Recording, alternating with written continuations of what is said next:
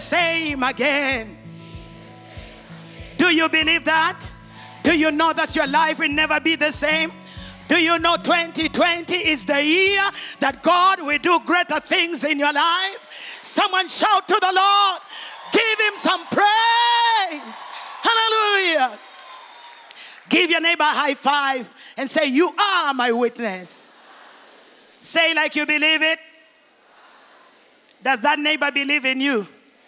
Does she or he believe in you? Hallelujah. Do you know God loves you? Do you know He has brought you here for a reason? Do you know He's about to transform your life? Do you know something greater is going to happen in your life? If you believe it, give the Lord a shout. Yes, Lord, we glorify you. We worship you. We give you glory. We give you honor. We magnify your name. Let your power, let your glory, let your anointing, Lord, be upon this house as we hear your word. Holy Spirit of God, rain righteousness upon your people. Let the former rain and the latter rain come upon your people, oh God. Receive glory, receive honor, and receive praise in Jesus' name. In Jesus' name. I want you to know the former rain and the latter rain is coming upon your life. The devil likes it or not, you are becoming better. The, your enemies like it or not, you are getting better. Glory be to Jesus. Glory be to the Lord. You can have your seats.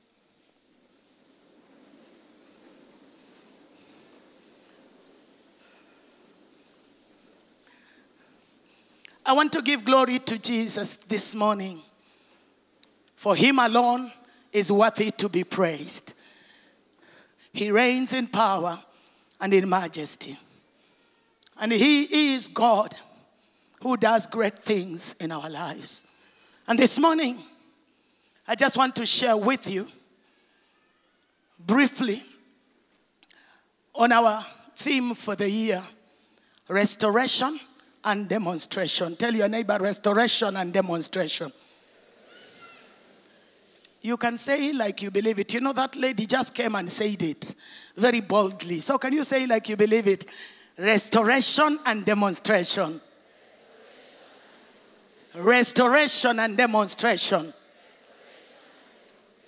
I know we are excited about this theme. I know we are looking forward for God doing greater things. I know we are looking forward for God restoring many things in our lives. And that is a good desire. That is a good expectation. Because the expectation of the righteous shall never be cut off. So the Lord God is just about to do something in your life. And it is only you that is going to be ready for it. And as you get to be ready for it, I just want you to know there are a few things that we need to know about this restoration and demonstration. Let's begin by reading the scripture in the book of Joel, chapter number 2, in verse number 25 and 26.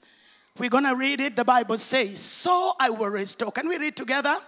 So I will restore to you the years that the swarming locusts have eaten, the crawling locust, and the consuming locust, and the chewing locust, my great army which I sent among you.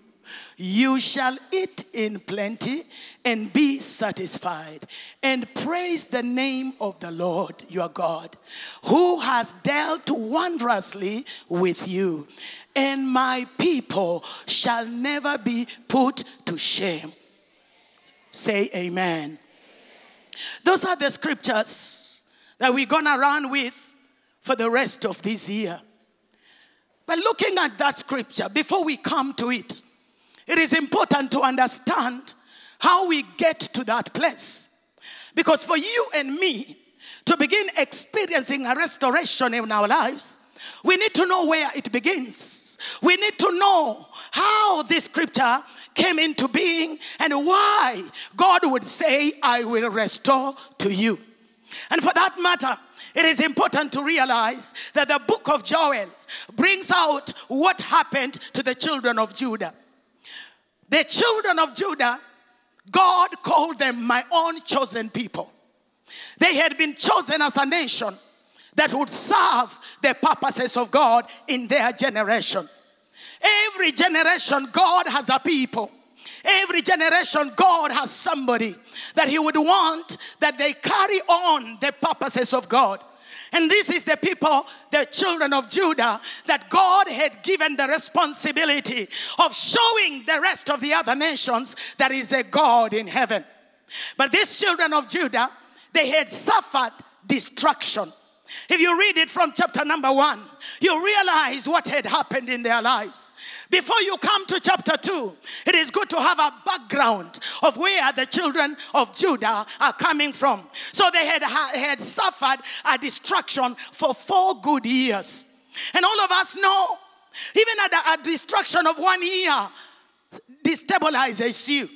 The few problems that come upon us, they do not give you any stability. This is January. And there are many people that have gone through some, some, some challenges. And they were saying, May January end. But this morning, there is hope for you because the former rain and the latter rain is coming in the first month. Someone say amen.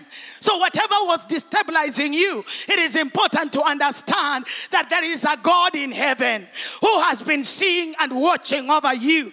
And He's just about to turn all things around for the glory of His name. Someone say amen. So, the destruction that had happened to the children of Judah was a, a big destruction. Why did it happen? In this, you need to understand destruction that we are talking about here. Everything in, in the land of Judah had been destroyed. If you read about the locusts that we are reading, the eating locusts, there's, there's, those all the locusts that we have talked about in that scripture, you will realize that they had destroyed everything. You have an example in this nation. When people are talking about the locusts are coming, and there are many of you that are saying they should not come to us because we know the destruction that they can bring. So there was complete destruction where nothing was left. Nothing completely. The children of Judah became men that were being mocked. Other nations were looking at them and mocking them, asking them, Where is your God? And the reason was Judah had been set apart. And many people had envied what God was doing for them. But now they get to a place and things are not working for them. And they're being asked, Where is your God? Where is the one that you are serving? Where is the one that you believed in? If God is on your side, why are you going through what you are going through? I may be talking to some people who have been looked down upon by your neighbors, by the people around you, and they're asking if you are a believer, how come you are going through what you are going through? Where is your God? How come your God has not given you a job? How come your God has not helped you to take your children to school? How come things are not going on well? How come your marriage is being is being shaken? How come your business is not taking the shape that it should take? And we maybe you are in a place where the children of Judah were, where everyone around them mocked them. When destruction comes, many things happen. But listen to me, somebody. There is a God. Someone, there is a God. Blessed be the name of the Lord. Because of this destruction, there was a reason for it. And the reason was the children of Judah had given up on God. They had turned against the principles of God. This, this destruction had come because the children of Judah had turned away from God. They were not serving the purposes of God for their lives. They had become perverted. They did not do what was right in the eyes of God. They had looked aside. Why? Because they were used to God doing things in their lives. They were used for great things happening.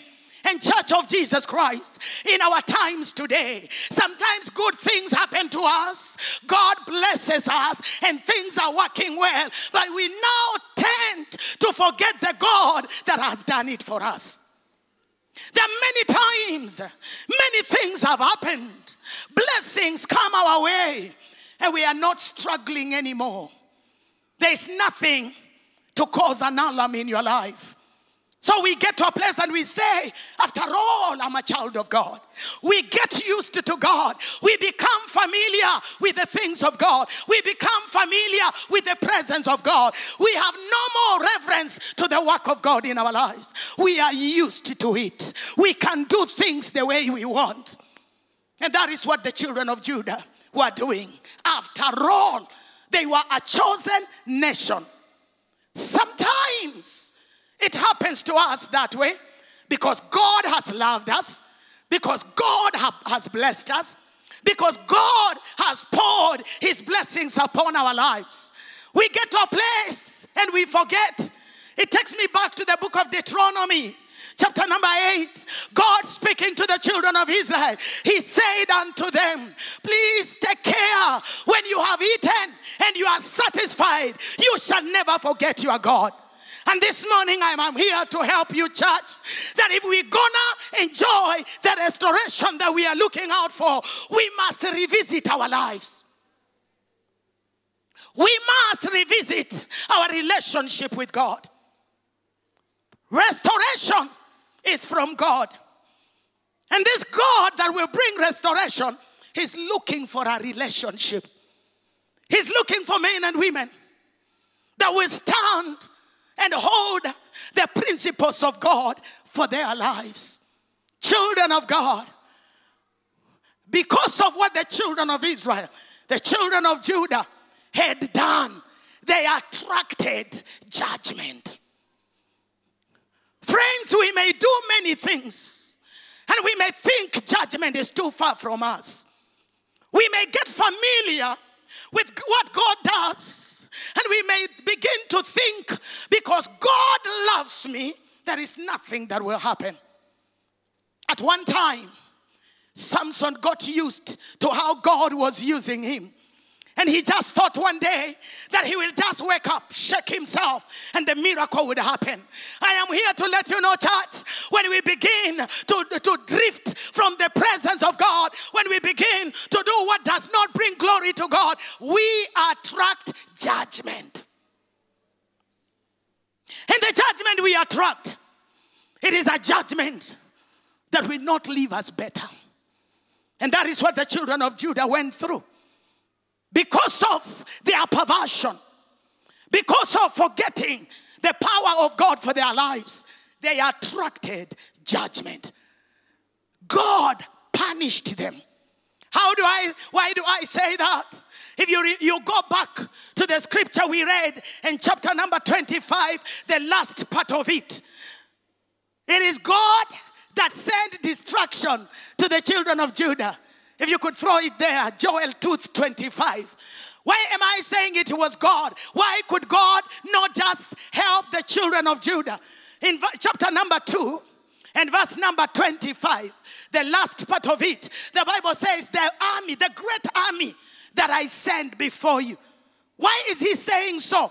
It is because he's the one that allowed that destruction. Are you getting what I'm saying? Church, are you getting what I'm saying? Please, would you throw up for me Joel chapter 2 and verse number 25? Joel chapter 2 and verse number 25. He begins by saying how he will restore. He says, So I will restore to you the years, those four years that the swarming locusts have eaten, the crawling locusts, the consuming locusts, and the chewing locusts. But the last part of it, what does he say? Can we read together? My great army, which I sent among you. That great army of locusts, if you keep reading and understanding, they may not have just been the locusts we are talking about.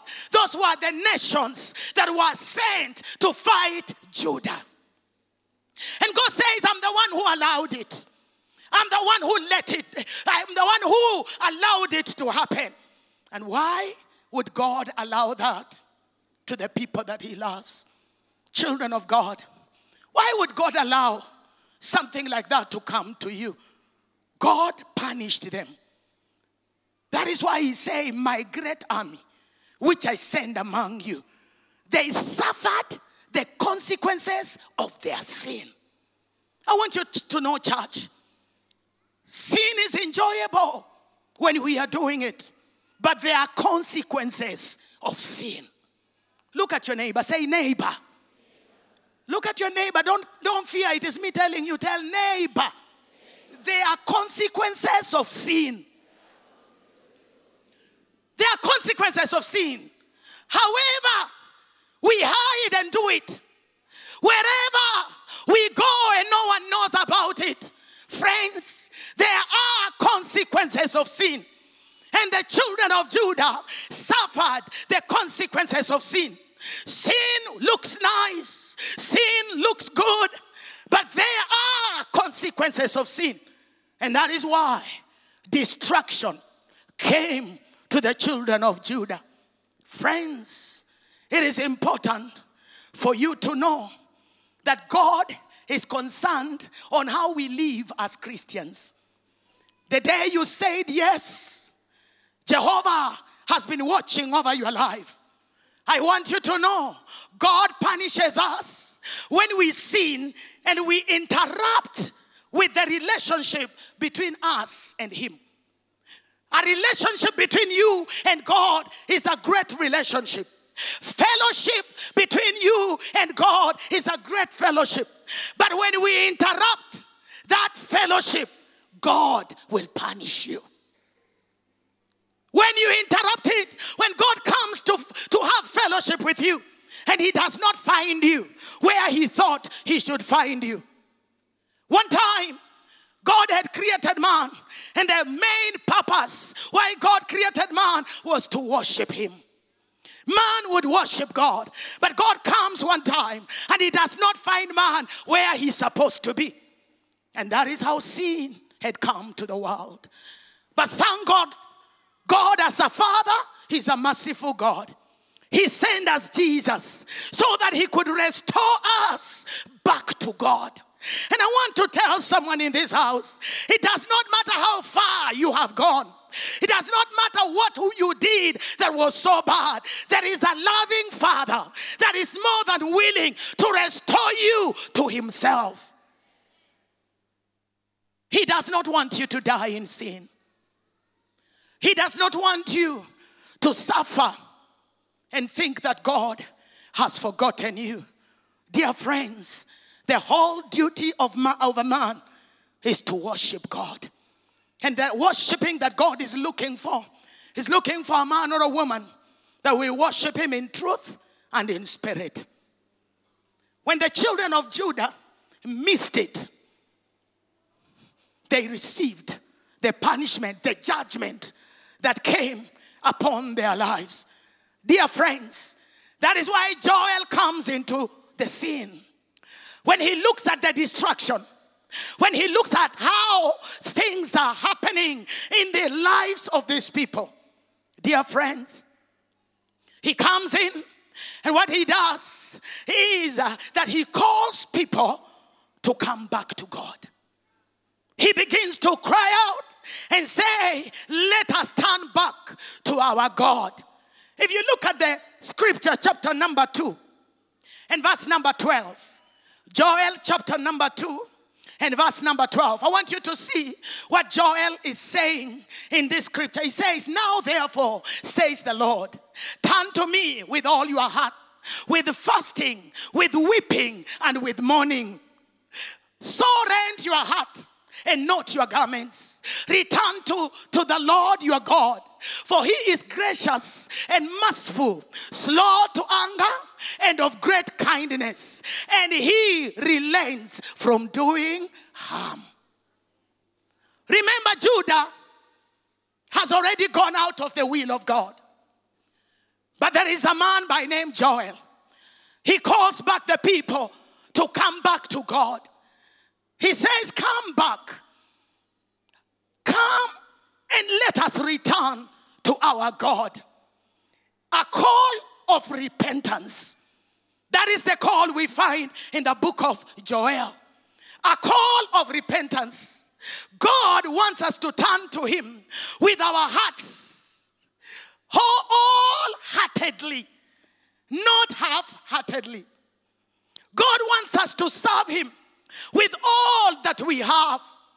God wants us to serve Him with everything that is given unto us. But how many times do we give ourselves to God and not all heartedly? When Joel was calling back the children of Israel to God, he said, Come, let us return to the Lord. Friends, a call of repentance is a call that Joel was telling the children of Israel. We have sinned. We have turned against God, but let us make an about turn. Let us turn around and see if our God will forgive us. And that is what I want to tell the church of Jesus Christ. We might have done worse. We might have mingled ourselves and lived the way we want to live. But I've come to make a call of God upon your life. And the call is come, let us return to our God.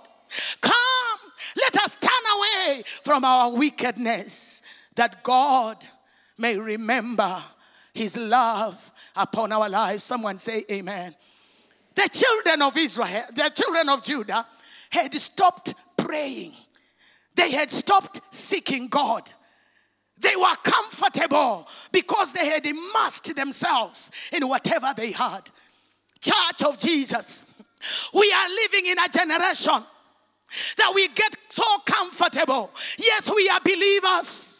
But we become so comfortable because of where we are. We have immersed ourselves in the blessings that God has given us. We are ready to say, I am blessed. I cannot be cursed. That is a reality. But where is your heart? Look at your prayer life.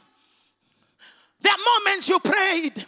The moments you cried, Oh God, remember me, and God remembered you. You asked Him for a car, He gave you a car. You asked Him for a house, He gave you a house. You asked Him for a job, He gave you a job. You asked Him for a wife, He gave you a wife. After that, what happened? The children of Judah immersed themselves in the riches that God had given them. They worshiped the blessing and forget, forgot the blesser. And this morning, dear church, we need to revisit our lives. Because if we go that way, when we get a church that is not praying anymore, friends, the power of God will not be in that church. We will begin to say, Where are the miracles? We will begin to say there are people that saw great things happen, but are we where God wants us to be? The children of Israel enjoyed many things, but now they are not seeing it.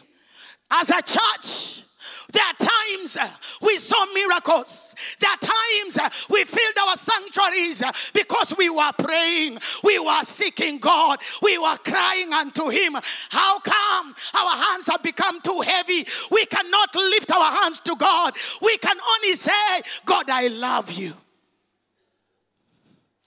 Before you get your physical restoration, before God gives you back your land that has been taken unfairly, before God brings up your business and restores what you lost, God desires that you be restored back to Him. He says, Before I give you the money, before I give you that house, would you turn to me? And Joel has said it. Let us return to God. And church, I am pleading and making the plea that, uh, that Joel plead. He said, we may be comfortable, we may be happy, we may be enjoying, but let us not wait for the judgment that came to the children of Judah. It is our time to revisit our lives and say, enough is enough. We want to go back to the power. We want to see the restoration of the glory of God in the house. We want to see the power of God working around us. We are tired with a church of words and no demonstration. Friends, we are tired with people coming to church sick and going back sick. We are tired with people coming to church blind. And we are just telling them one day God will visit you. We want to go back to the days where the blind were seeing immediately.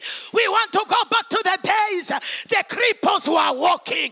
We are looking for men and women who will look at a cripple and declare, Rise up and walk. We need restoration. We need restoration. We need restoration.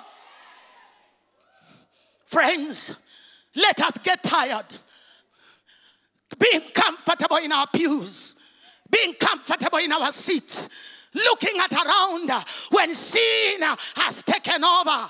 How long will we sit in a church, sit with thieves? They steal from us and they go unnoticed. Look at your neighbor, say, neighbor, we need restoration. Say, I am tired. I need men and women who will be tired. I'm looking for men and women who will come and sit here. And if there is an agent of the devil, he does not get comfortable. We declare with the restoration that is coming, no witch will survive, no devil's agent will survive, no wizard will survive. We need restoration. Church, go back to prayer. Go back to prayer. Go back to the closet. Restoration is coming.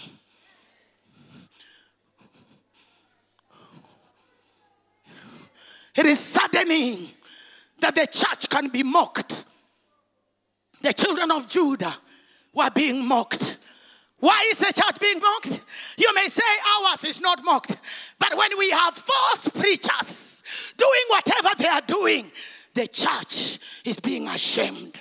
But I come with a word of God today that the Bible says we shall never suffer shame anymore. We have been laughed at, but no more shall we be laughed at. Blessed be the name of Jesus. Let us go back to prayer. When is the last time you spent time in the presence of God? Oh, hallelujah. It is time, dear friends, we sought the Lord one more time. The children of Judah stopped reading the Bible. They stopped seeking the purposes of God for their lives.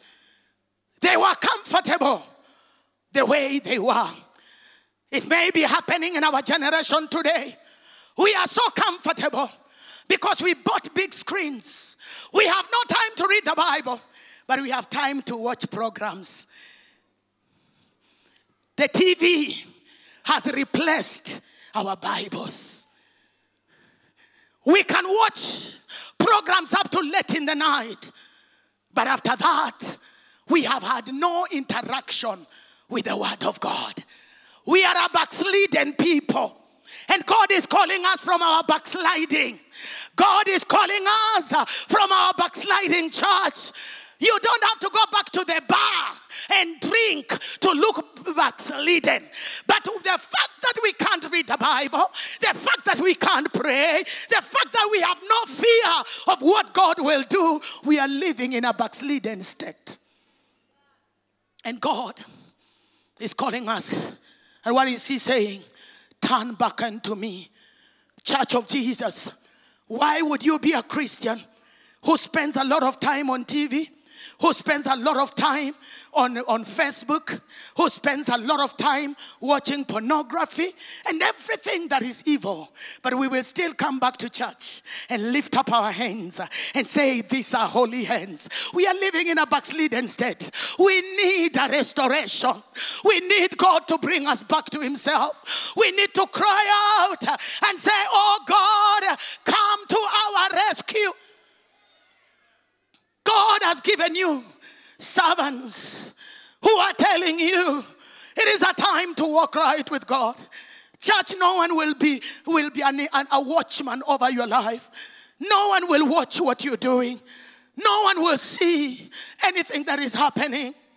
But I bring a plea, like the plea of, of Joel to the children of Judah, saying to every one of us, let us come back to God. Let us look at where we lose, we lost it. We've lost a lot. I know when we talk about restoration, some of you have lost money. Some of you have lost businesses. Some of you have lost marriages. Some of you have lost so many things. And you are saying, Lord, restore. But before he restores those ones, may you be restored back to himself. Come back to Jesus. Come back to the saving knowledge of Christ. Say no to whatever is keeping you away. Look at your neighbor, say, Neighbor, come back to God. God is calling us as a church. It is not a responsibility of one man. Church, you cannot look around and say, Our pastors have no power. Do you have it yourself? Miracles are not happening in our church. Listen, the early church, everyone would do what God has said. And the Bible says, Those who believe in me, the things I do, they shall do them. If your pastors have no power, we want to see the power from the congregation. We want to see men and women laying hands on the sick and they are being healed. Someone say, We need the power. Say one more time, we need the power.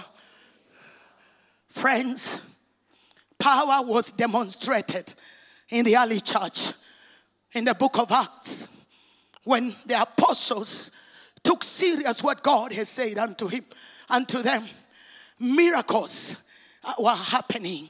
In Judah miracles had ceased because they were in a backslidden state. But the people who know their God shall be strong and they shall do exploits.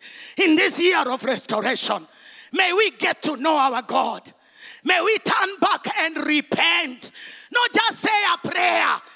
Friends, when we lead you into a confession prayer, it is a good prayer. But listen, after that prayer, live according to the word of God. Live according to the word of God. Put aside the wickedness of your life and allow God to lead you into his paths of righteousness. Are you in that category of men and women who are living in a backslidden state? Where are we headed as a people? Are we headed in failure? Are we waiting for judgment? Remember, God will judge those who do not live right with Him. You don't have to wait for that. Let us return to the Lord. Let us return to God. Don't just come to church for convenience. Don't just come to church to tick a register. Don't just come to church so that we know you are present. Don't just come to church so that you, your pastor may realize you are around. Don't come to church just because you are a leader. Don't come to church because just you are a usher. Oh, I am a choir member. Thank you for singing. Thank you for ushering. Thank you for leading. But time has come, church. Let us return to our God.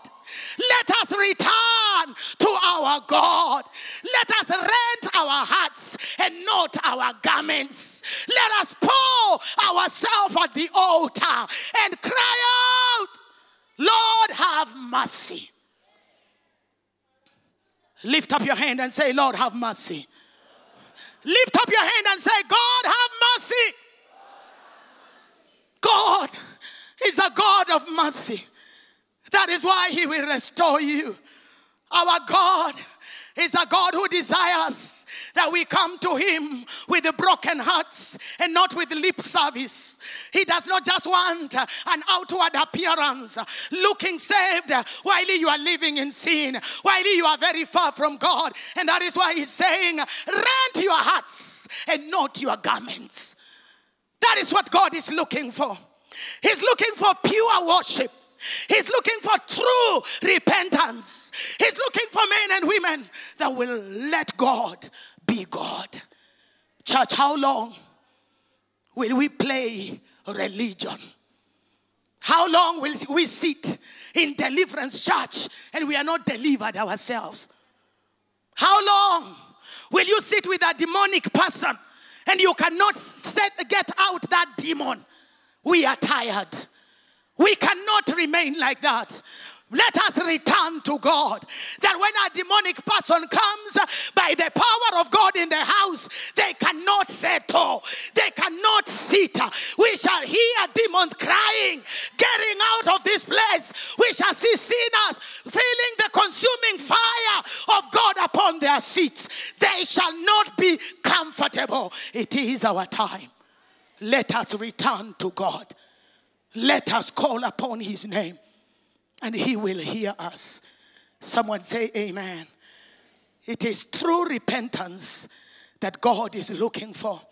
Friends, if we will get restoration in our lives, it will be demonstrated. It will be something that will be evident. You know, when we talk about demonstration, we are saying there shall be proof, there shall be evidence. It will show out. Friends, it is a high time. People don't just see us coming and go out. We are looking for a time when there is restoration of the power of God in the church of Jesus Christ. That when you come in, the power of God is so much in this place that our neighbors will be running for that power. They'll be coming to receive their miracles. We are looking for a time men and women from far away will carry their sick and bring them to church. We are looking for a time that our shadows will just touch somebody and they get healed. Of Jesus, we need the power. Let the power of God be restored in the church. Let there be demonstration of the power of God. What are we demonstrating as a people? Are we demonstrating our good cars? It is a blessing to have a good car because God has blessed us. Are we demonstrating our good dressing? What do people know us for? What are we showing out? Let us get tired for people just pointing out and saying that is the church of the rich. That is the church of those who know how to drive. I am here to declare I need restoration.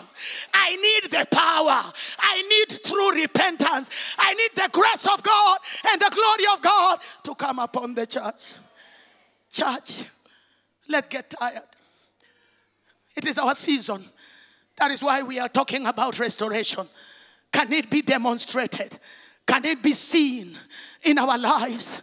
Can men and women say there is a church that knows their God? When did you last spend time in prayer? When is that, that day you just told yourself, I want to be in the presence of God?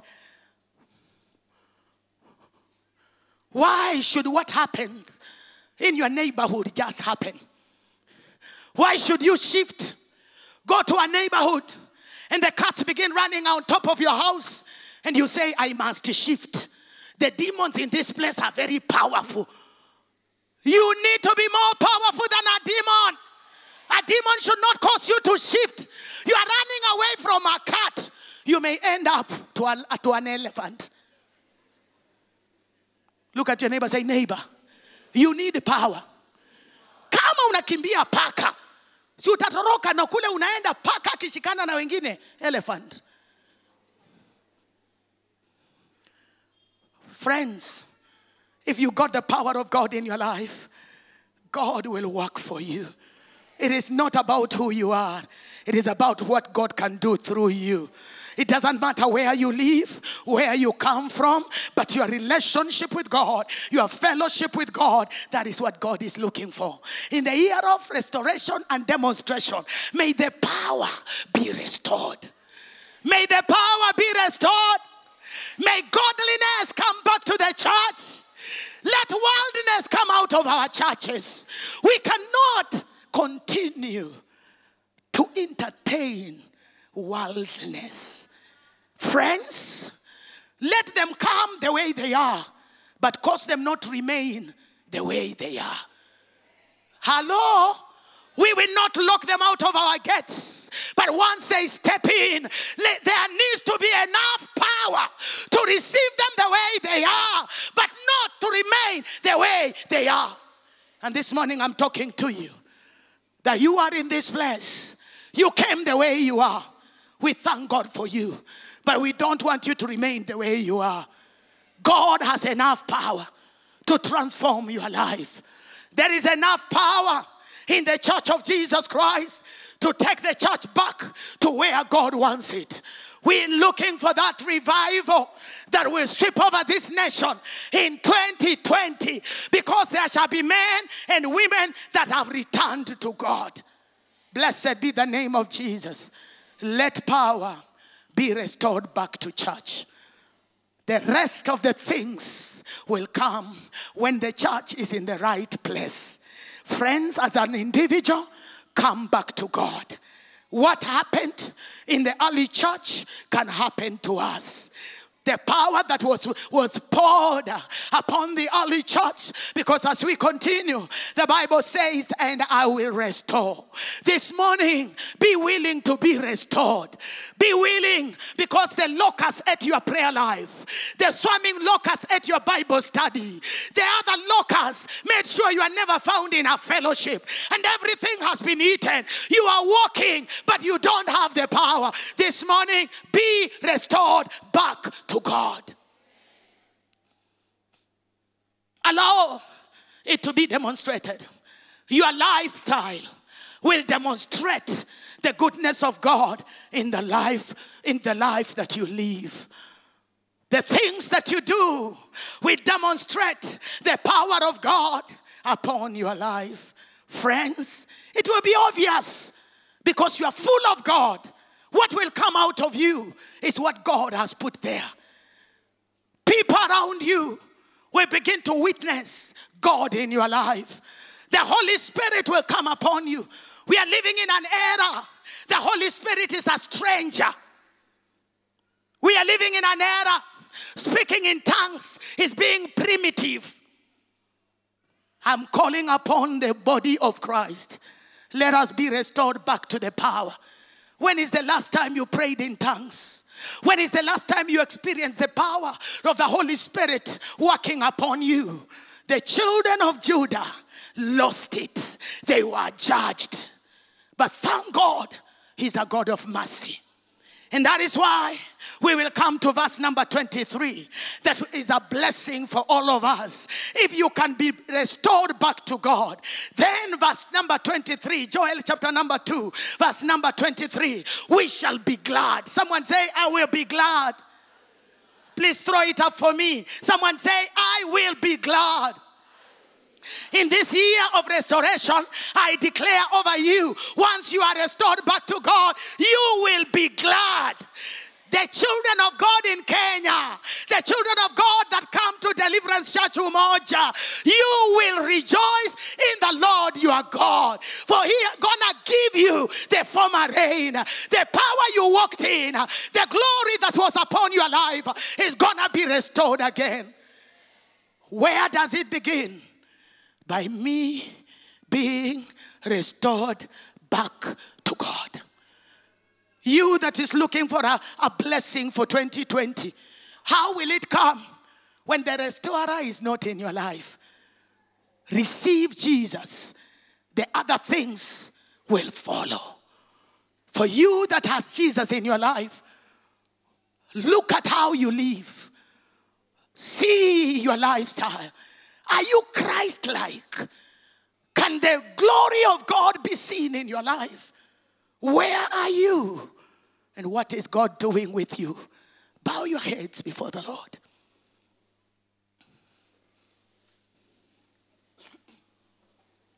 As you bow your heads, I want you to take a moment. Ask yourself a question Am I waiting for judgment? How am I living? The children of Judah were a chosen nation to God. You are a chosen generation. You are a peculiar person. But that does that give you a license of living the way you want to live? Are you living in a backslidden state? I want you to take a moment and make a prayer to God yourself. This is about you. This is about you. Church has become a social place. You come on a Sunday to meet friends. You come on a Sunday to mark the register. Oh God, I was in church. But sure, are you a child of God? Are you restored to the grace of God? Are you coming because of anything else or you are coming to worship Him? The worship of God is a true worship. Talk to God. And the reason I'm telling you to talk to God is that the Bible says He is a glorious God. He is a, merciful God. That when we return to Him, He will restore us. What does the Bible say? I want you to know, friends, as you bow your heads, if restoration will happen in your life, it will begin by you living a life that will please the Lord. It is you by coming back to the real thing. What will God do for you? He is gracious, He is merciful, slow to anger, and great in kindness. This day, He can forgive you, He can have mercy over you because He loves you. The people of Judah accepted the call of Joel the plea of Joel for repentance, for repentance, and they repented. And when they repented, God responded to their repentance. God responds to us, responds, responds to us when we come back to Him. Friends, it is your time, it is your season to come back to God. Make a prayer this morning. As you bow your head, just say, Lord, I'm coming back to you. Go back to the cross. We forgot about the cross. We forgot about the cross. The cross becomes shameful and yet it is the power to our salvation. The Bible says the preaching of the cross is foolishness to those who are perishing, but it is the power of God for those who are being saved. Friends, you need the power of the cross to get you to where you are going. You need the power of the cross to help you live a godly life. You need the power of the cross to take you back to your knees. Your knees have been tired because the power of the cross does not work in you anymore. God have mercy over the church. God, remember mercy. May this be your cry. I'm coming back to the heart of worship. It's all about you. It's all about you, Jesus. I'm sorry for the way, for the things I've made it. It's all about you. Is it is Jesus all about your life? Remember mercy. You are a gracious God, full of kindness. Take us back to the place of worship. Take us back to the power of the cross. Church of Jesus.